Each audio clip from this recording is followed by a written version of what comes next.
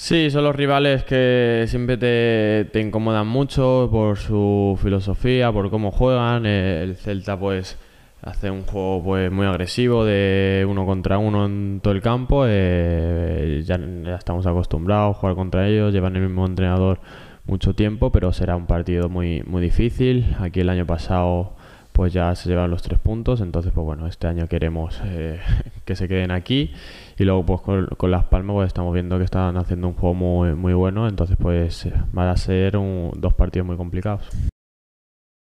En casa es complicado, ¿eh?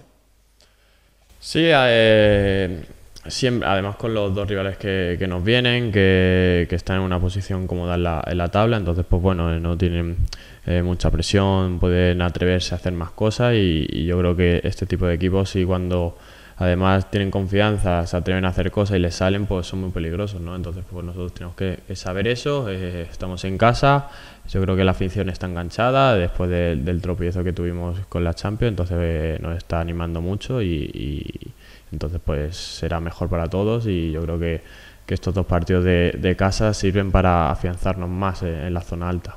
Está tú muy igualado, ¿eh? Sí, está todo muy apretado, eh, muy bonito de, de cara al aficionado. eh, eh, cuando ganas eh, un par de partidos, te, pues te colocas arriba. Entonces, pues lo que he dicho, ¿no? Estos dos partidos nos tienen que servir para, para afianzarnos bien en, la zona alta y como estos últimos años, eh, que, que a los equipos les cueste mucho sacarnos de ahí, ¿no?